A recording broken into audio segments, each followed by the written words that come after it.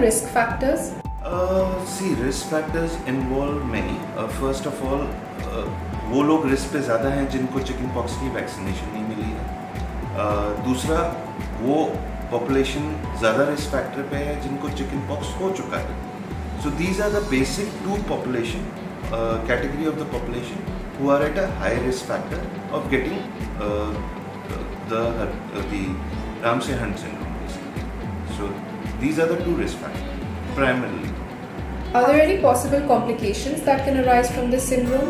Uh, yes, if the treatment is not given on time and the patient uh, is neglecting this condition, तो उस case में ये होता है कि अगर पेशेंट को सही ट्रीटमेंट सही टाइम पे नहीं मिला या पेशेंट ने दिखाना ज़रूरी नहीं समझा डॉक्टर को या न्यूरोलॉजिस्ट को सो so, उस केस में ये होता है कि जो डैमेज है it can even travel to your to your facial nerves can cause permanent nerve damage जिसको हम न्यूरोपैथी बुलाते हैं, ये नर्व प्रॉब्लम बुलाते हैं। That can be permanent in that case so उसमें that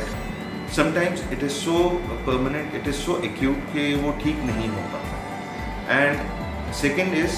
जो इसका कॉम्प्लिकेशंस है, अगर आपको टाइम पे ट्रीटमेंट नहीं मिला एंड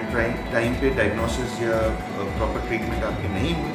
तो अगर ये कान में फैला हुआ है आपके तो it can cause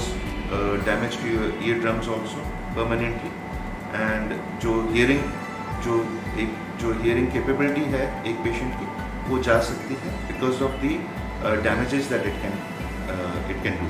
to the nerves and the ear because of the infection it will create infection over there so the damages can be can be permanent if the right treatment is not started on these are certain complication नाम